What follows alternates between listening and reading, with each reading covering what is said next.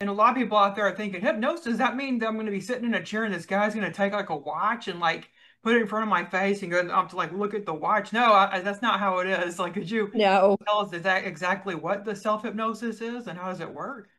Yeah.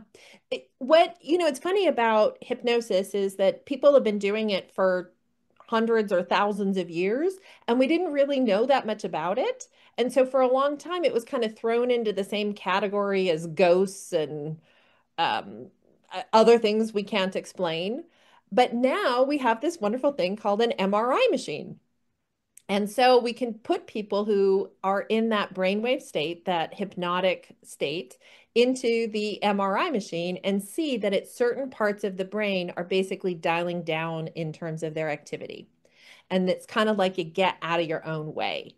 And when you get out of your own way, then you have space to imagine yourself succeeding at something. You have space to believe that you could drop an old thought that's not serving you. You have space to be able to say, wait, yeah, I have a lot on my plate, but I'm smart and I can figure out what's important and what I need to do versus what I can hire someone else to take care of for me. And that is essential, I think. I think it's an essential tool for all of us.